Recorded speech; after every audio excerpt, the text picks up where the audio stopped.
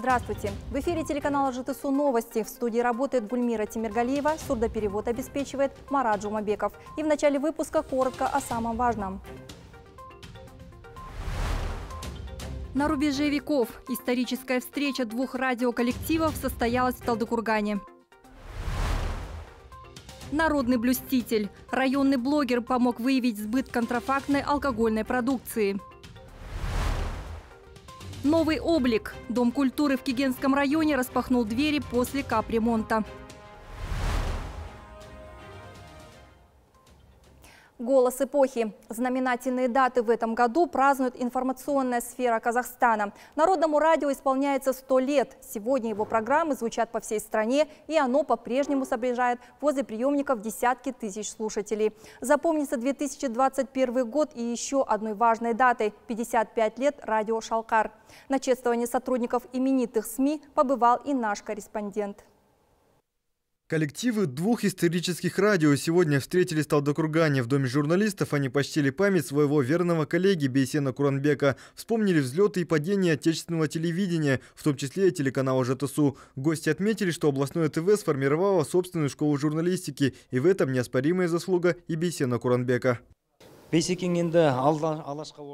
Бейсен являлся великой личностью. Он с особым уважением относился к нашему радио и к радио в целом. Мы гордимся этим и относимся к памяти о нем с особым трепетом, так как Бейсен внес весомую лепту в развитие казахстанской журналистики. Казах радиосымен Шалкар радиосы.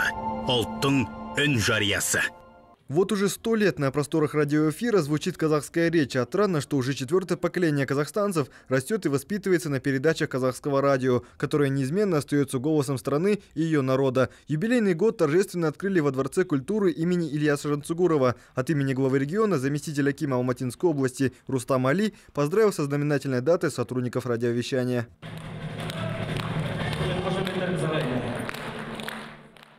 55 лет исполнилось радио «Шалкар». Впервые вещать на весь Казахстан она начала 1 января 1966 года. Это единственная в республике волна, освещающая духовность нации и пропагандирующая ценности казахского народа. Сегодня и ее сотрудников отметили благодарственными письмами. Наше радио на сегодняшний день слушает 65% жителей территории всего Казахстана. В Алматинской области сосредоточено наибольшее количество слушателей. Мы намерены и дальше укреплять дружеские взаимоотношения с Житысуйским краем.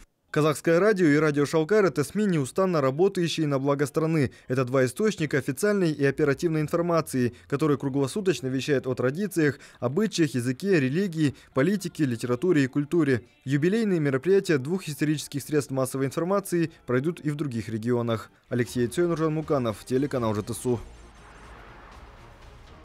Активное развитие культурной отрасли. Алматинская область уделяет большое внимание развитию досуга сельского населения и строительству культурных объектов. За 2020 год проведен капитальный ремонт порядка 10 домов культуры в регионе. Работа продолжается и в новом году. В селе Узунбулак Кигенского района Дом культуры, построенный более 30 лет назад, вновь встречает сельчан после реконструкции.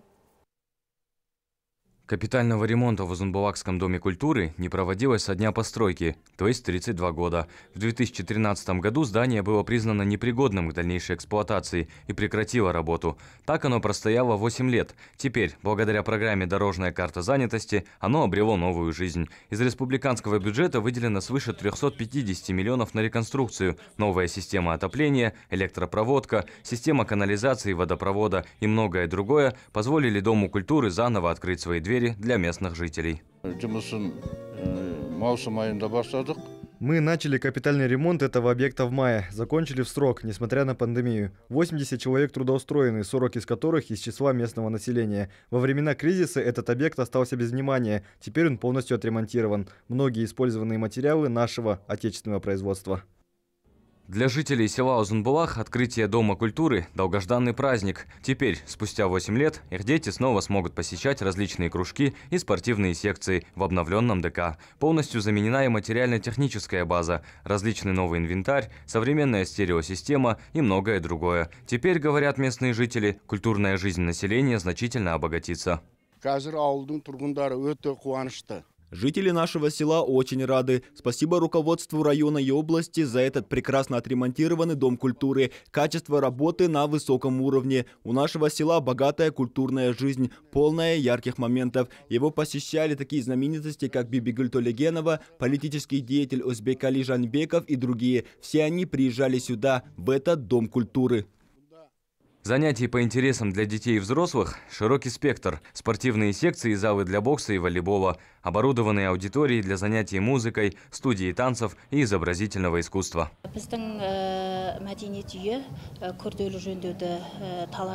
Наш Дом культуры нуждался в капитальном ремонте, поэтому этот день стал поводом для большой радости для наших жителей. В нашем Доме культуры сейчас работают шесть кружков – танцевальные, вокальные и другие, а также спортивные секции по боксу и волейболу. Все очень рады открытию ДК после стольких лет. Занятия в кружках уже идут полным ходом.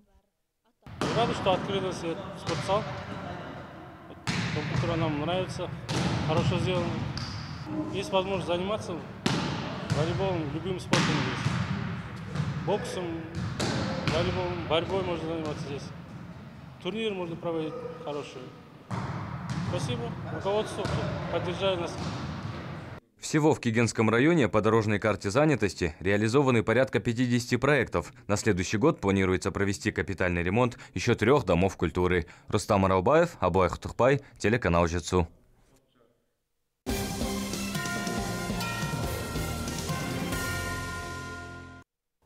771 заболевший и 4 летальных исхода за сутки. Случаи заражения коронавирусной инфекцией зарегистрированы во всех регионах Казахстана. Число лабораторно подтвержденных случаев COVID-19 в стране по официальным данным составило 159 044. Умерли 2262 человека. На сегодняшний день лечение от коронавирусной инфекции в Казахстане продолжает получать 22 791 пациент. Из них в стационарах находятся 5212 на амбулаторном уровне 17 579.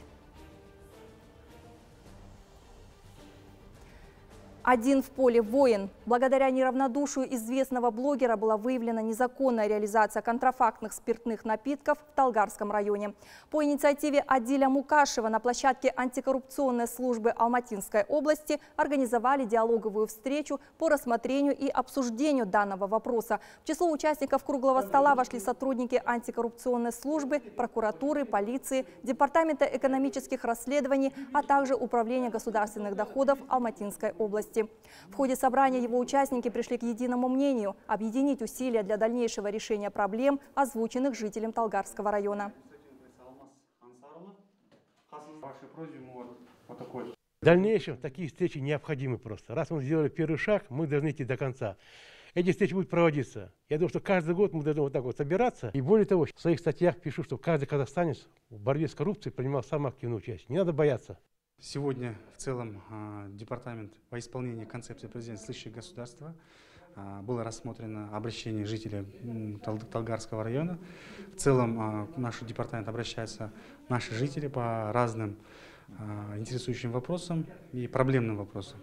Также мы хотим призывать всех в последующем, если со стороны, скажем, жители будут выявляться или имеется информация о противозаконном деянии, мы готовы всесторонне проводить оперативно-розыскные мероприятия. Твой голос важен. Военнослужащие Алматинской области начали подготовку к предстоящим выборам в депутаты Мажилиса парламента Республики Казахстан. Около 15 солдат срочной службы посетили избирательный пункт, где заранее ознакомились с процедурой голосования. Подробности у Дамира Анитова. Выборы депутатов Мажилиса парламента Республики Казахстан – значимое событие для всей страны. Все сотрудники госучреждений и просто неравнодушные к судьбе государства граждане готовятся сделать выбор за своего кандидата и партию. Военнослужащие войсковой части 18404 также не остались в стороне. В преддверии выборов солдат срочной службы привезли на один из избирательных пунктов для ознакомления с процедурой голосования. Мы привезли часть солдат срочной службы для репетиции, показать, как будут проходить, в каком формате будут проходить выборы депутатов с соблюдением всех э, санитарных норм. Все солдаты рады тому, что будут голосовать за ту или иную партию. Была произведена работа со стороны воспитателей нашей части по разъяснению объяснению а, работы той или иной партии. Меры безопасности в избирательных пунктах строгие. Помещения заранее обрабатываются спецсредствами. На входе всем измеряют температуру. Обязательное наличие антисептика. Словом, для избирателей созданы все условия. Вхожу в службу войсковой части 1844. А, через несколько дней, 10 января, состоятся выборы в парламент. Я рад и горжусь, что, неся службу в армии, у меня есть возможность сделать свой выбор и поддержать ту партию, за которую я решил голосовать. А, хочу сказать всем казахстанцам, не будьте равнодушными, сделайте свой выбор, не оставайтесь в стороне. К слову, сегодня подготовку к выборам прошли около 15 солдат срочной службы. Оставшиеся 360 военнослужащих также смогут до 10 января посетить избирательный пункт. Дамир Анитов, Жай Курманбаев, телеканал «Жицу». Проявить гражданскую позицию и сделать правильный выбор призывают жители Алматинской области. Призываю всех казахстанцев принять участие в предстоящих выборах. От данного голосования зависит дальнейшая судьба всего государства. Считаю, что каждый уважающий себя гражданин нашей страны должен сделать выбор. Не будьте равнодушны к своему будущему и будущему наших детей. Я мать двоих совершеннолетних детей. Э, в этом году они вместе со мной пойдут голосовать на наш девятый участок, чтобы сделать свой выбор. Почему? Потому что мы, как граждане Казахстана, мы хотим изменить жизнь к лучшему. Поэтому мы идем на выборы. Мы должны сегодня проявить свою гражданскую активность. Если не мы, то кто? Поэтому я призываю всех 10 января пойти на выборы. Дорогие соотечественники, житойсуйцы, мы хотим жить в независимом, цветущем Казахстане. Там, где самое главное – это забота о нас, простых гражданах, об уверенном будущем наших детей. Там, где царит мир и согласие. Я хочу сделать свой выбор и проголосовать за простое человеческое счастье. Дорогие друзья, я как представитель старшего поколения призываю вас принять активное участие в выборах. Давайте – Пойдем и сделаем свой выбор и проголосуем за мир и счастье в нашей стране.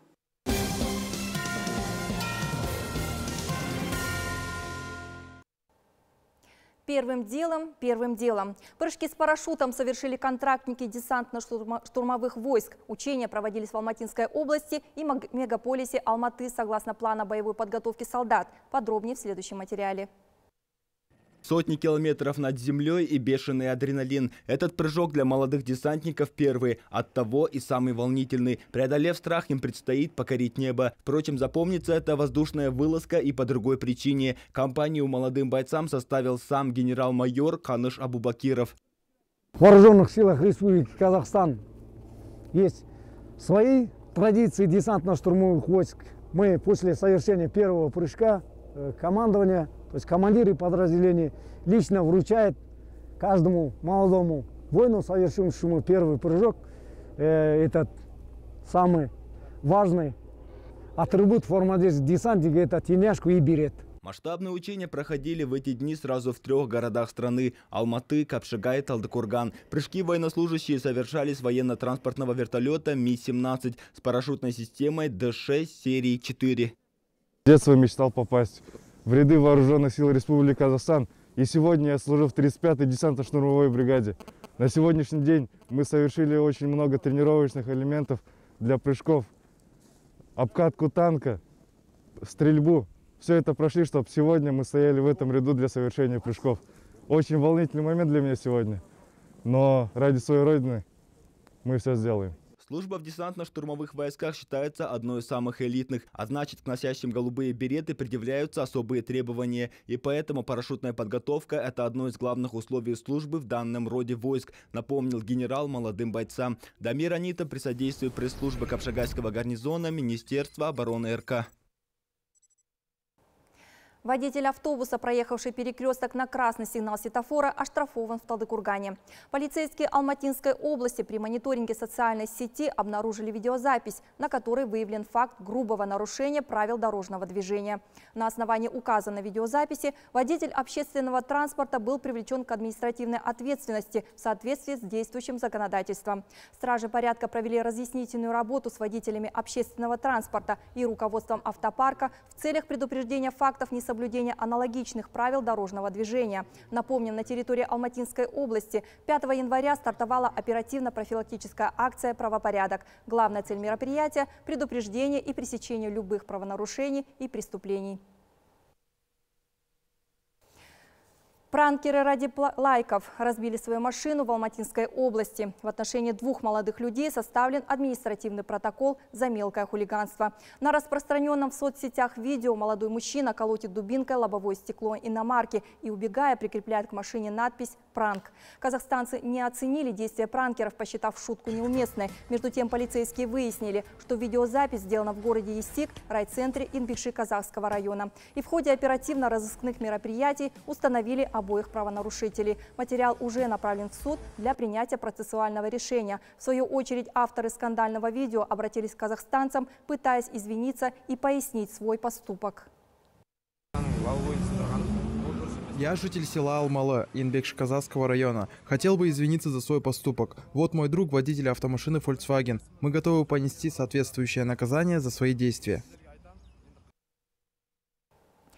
Сразу на двух избирательных участках Шимкента не соблюдали меры пожарной безопасности, передает Хабар-24. Отсутствовал аварийный выход и не хватало средств пожарной защиты. Об этом сообщили сотрудники местного управления по ЧС. Информацию о выявленных недостатках специалисты передали в избирательную комиссию. Эвакуационный выход должен был всегда открыт, но на участках он был заблокирован посторонними предметами, а средства пожарной защиты вовсе установлены неправильно.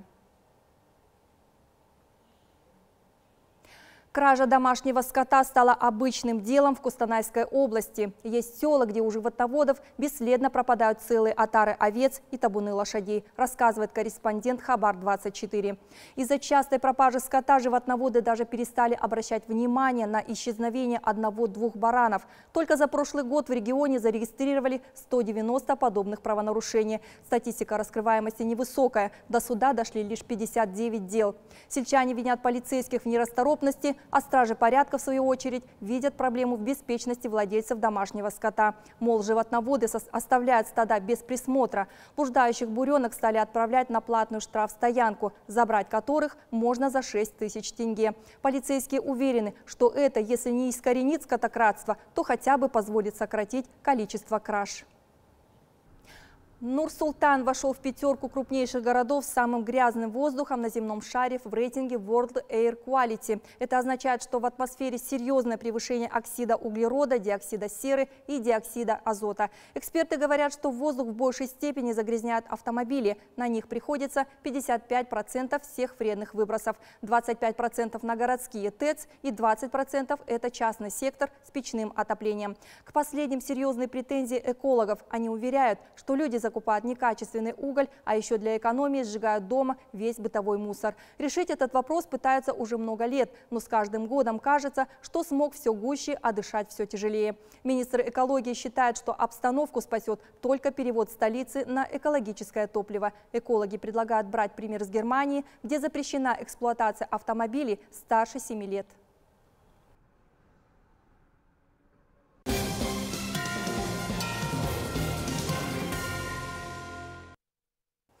Из-за пандемии коронавируса в Японии сократились доходы владельцев ресторанного бизнеса, в связи с чем снизился спрос на голубого тунца. Об этом свидетельствуют итоги ежегодного аукциона, состоявшегося в Токио на одном из крупнейших в мире рыбных рынков. Туша весом в 208 килограммов была продана всего лишь за 166 тысяч евро. Это почти 10% от цены, уплаченной в прошлом году, когда за рыбину в 276 килограммов в 2020 заплатили почти полтора миллиона евро. Голубой тунец – вымирающий вид. Всемирный фонд дикой природы уже несколько лет ведет кампанию по защите редкого обитателя морских глубин. Экологи призывают власти Японии бороться с распространенной практикой чрезмерного вылова. Из-за локдауна британские авиакомпании British Airways и EasyJet вынуждены пересмотреть свои планы и наверняка сократят число рейсов. Уже ясно, что карантин лишит их доходов в период школьных февральских каникул. Аналитики предрекают, что это скажется на бронировании билетов на Пасху и лето. В British Airways заявили, что сейчас все внимание сосредоточено на сохранении направлений, по которым осуществляются перевозки жизненно важных грузов. Чтобы удержаться на плаву в первую и вторую волну коронавируса, авиаперевозки перевозчикам уже пришлось провести реорганизацию. Авиакомпании объявили о сокращении сотрудников. По данным Международной ассоциации воздушного транспорта, до пандемии сектор авиаперевозок обеспечивал 1 миллион 600 тысяч рабочих мест и 4,5% ВВП страны.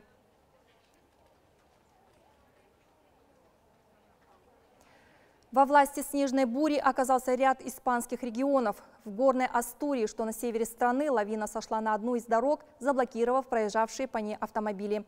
На помощь прибыла бригада коммунальной службы из двух человек, но сами они попали в ловушку из-за второго схода снега. Позже один из рабочих был найден мертвым. Поиски его коллеги продолжаются. По данным властей, спасателям удалось вызволить из-под снежных завалов пятерых пассажиров двух автомобилей. В их числе ребенок. По прогнозам, снегопады в ближайшее время не прекратятся. Оранжевый уровень опасности объявлен в 30 испанских провинциях.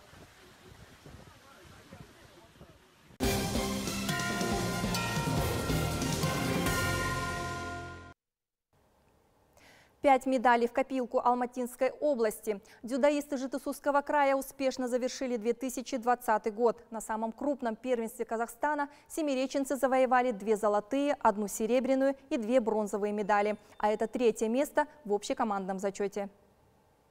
Важное соревнование прошло в городе Актау, куда съехались чемпионы со всех регионов страны. Оно значимо тем, что победители и призеры станут членами национальной сборной страны и выступят на лицензионном чемпионате мира за право завоевать квоту на Олимпийские игры в Токио. Среди участников честь Алматинской области отстаивала Камила Берликаш. Она завоевала чемпионское золото в весе свыше 78 килограммов. Во всех своих встречах спортсменка одолела соперников с явным преимуществом. В финале она встретилась с дюдоисткой Северо-Казахстанской области Назгуль Маратовой. Техничнее оказалась Камила. У меня в планах сейчас участвовать в чемпионате Гранд Слэм и завоевать первое место. Намечен также Кубок Европы, Азии и чемпионат мира. Планирую, конечно же, везде выиграть и попасть на Олимпиаду. Кроме нее, Алматинскую область представили еще 17 спортсменов. Отличились своими победами и призовыми местами Нурсулу Яралиева, Гульнас Нуридинова, Жанар Кашкын и Дамир Булатбеков. Отмечу, что на чемпионате Казахстана по дзюдо конкуренция очень высокая. И третье место в общекомандном зачете – отличный результат. Однако тренеры говорят, что можно было и лучше. На 2021 год ставим перед собой большие цели. Спортсмены будут упорно готовиться на самые престижные первенства. Надеюсь, покажут хорошие результаты. Тренировки начнем уже в ближайшее время. Теперь с 9 января дзюдоисты Алматинской области отправятся на учебно-тренировочные сборы в Шимкент. Проведут масштабную работу над ошибками и улучшат свое мастерство. А уже в феврале дзюдоисты примут участие в международном турнире, который по плану должен пройти в Ташкенте. Алексей Цюжар, Коншентаев, Яблай Кутыкбай, телеканал ЖТСУ. Это были все новости к этому часу. Благодарю за внимание. До свидания.